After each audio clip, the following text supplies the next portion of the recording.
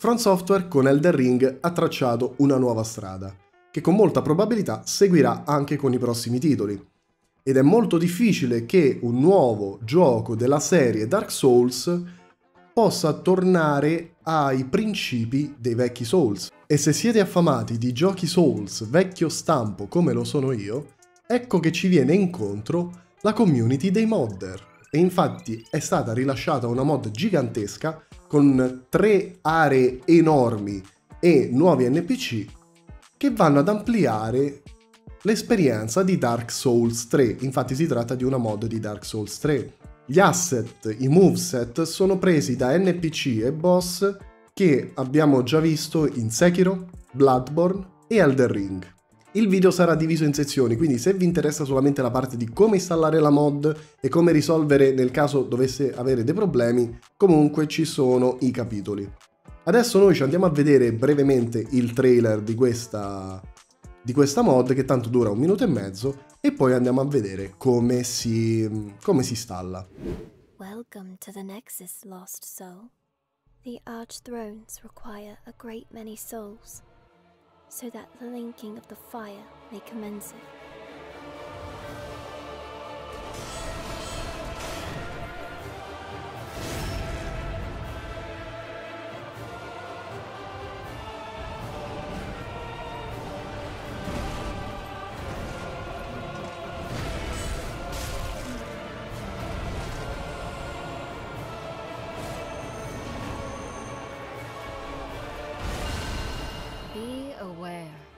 Even in death does the High Lord rule.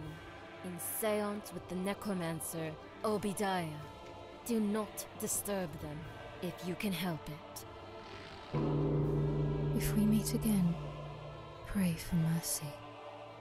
We shall dance, and we shall die.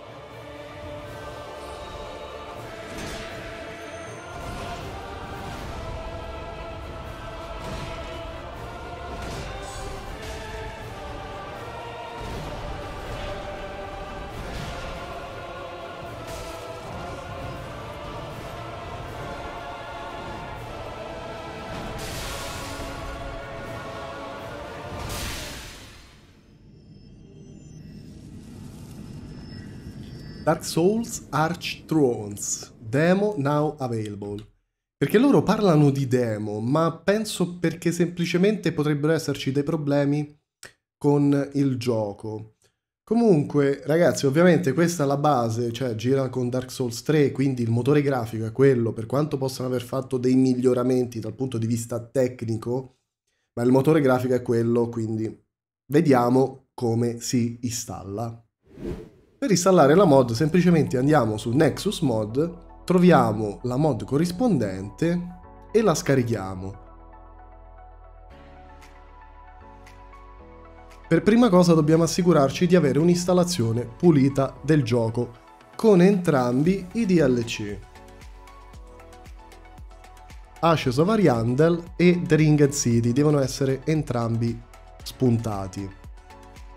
Possiamo fare proprietà su Dark Souls 3, andare su file installati e verificare l'integrità del gioco per avere appunto la certezza di avere i file originali integri.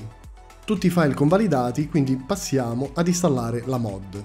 Per prima cosa dobbiamo estrarre i file nella cartella Archtrons che abbiamo scaricato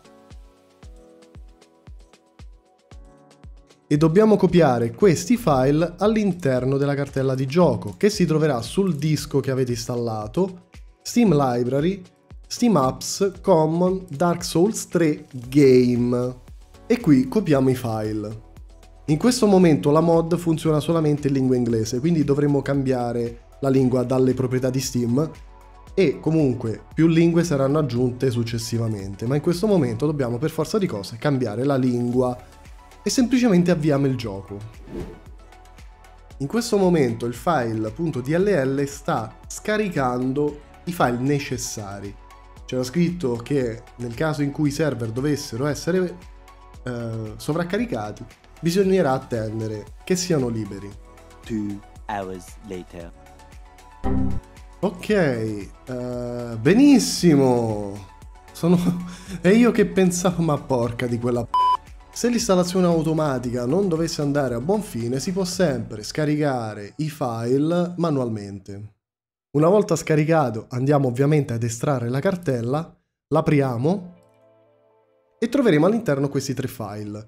Quello che dovremo fare è copiare questi tre file, sempre all'interno della cartella di gioco, ma all'interno della cartella Archtrons, che se ce l'ha creata l'installazione precedente, bene, altrimenti dovremmo crearla noi manualmente. Mi raccomando, la cartella si deve chiamare Archtrons, scritto tutto minuscolo in questa maniera. All'interno di questa cartella noi andiamo a copiare questi file e una volta finito avvieremo semplicemente il gioco.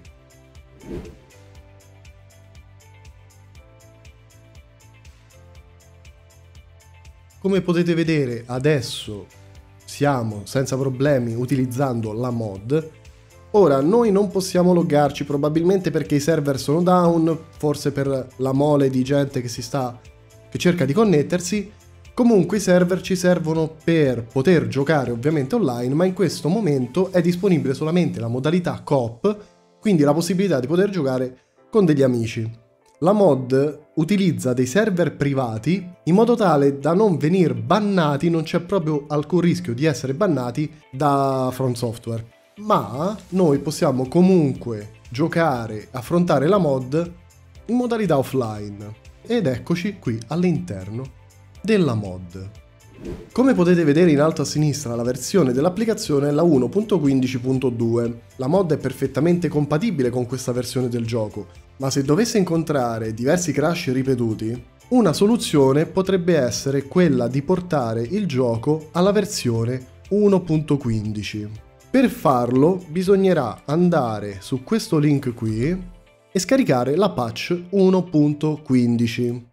Ecco, questo è il file scaricato che praticamente è l'exe di Dark Souls e come possiamo vedere con proprietà, se andiamo su dettagli, vediamo che la versione del file è la versione 1.15. Quindi quello che dobbiamo fare è copiare il file direttamente nella directory del gioco e andare a sostituire l'exe che io vi consiglio di copiare da un'altra parte come backup. Quindi copiamo e sostituiamo il file. Avviando il gioco dovremmo averlo alla versione 1.15. Ecco, come possiamo vedere adesso il gioco è alla versione 1.15. Se dovesse avere comunque dei problemi, c'è sempre il server Discord in cui poter segnalare gli errori e comunque c'è anche il forum su Nexus Mod. Vi ricordo che questa è una versione preliminare di questa mod, portate un po' di pazienza. Per quelli che utilizzano il gioco su Steam Deck o con Linux, vi consigliano di inserire questo comando all'interno della console, quindi sempre Dark Souls 3 proprietà, opzioni di avvio e sempre lì selezionare l'opzione di compatibilità Proton 7.0-6. Questo è tutto quello che c'è da sapere sulla mod in questo momento. Io vi ringrazio per la visione e noi ci vediamo in un prossimo video.